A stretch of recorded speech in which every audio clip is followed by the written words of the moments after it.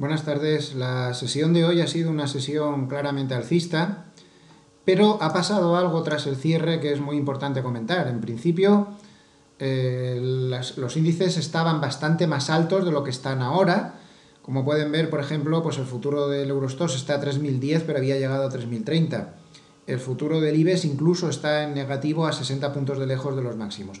En principio, la subida se había dado porque el euro estaba, estaba débil, esto ayudaba a las exportadoras y además Deutsche Bank, con el que estamos completamente obsesionados, pues subía 2,2% eh, ante el apoyo de algunos grandes clientes y de otros bancos que han hecho comentarios positivos, con lo cual pues la sesión estaba subiendo mucho más. Pero vean lo que ha pasado de repente, este es el gráfico del euro, fíjense qué subidón que tiene el euro en los últimos pocos minutos, estaba por aquí y ahora está casi por aquí arriba, son cerca de, 80 puntos de subida, y miren en el gráfico de un minuto del DAS, pues la caída tan fuerte de casi 60-70 puntos que han tenido las bolsas. ¿Por qué? Porque justo en ese momento el Banco Central Europeo ha hecho un comentario que decía que estaban poniendo las bases de las hipótesis bajo las cuales la QE se pararía o se ralentizaría. Simplemente hablaban en hipótesis, solamente esa sugerencia ha causado ese terremoto en las bolsas, como ven,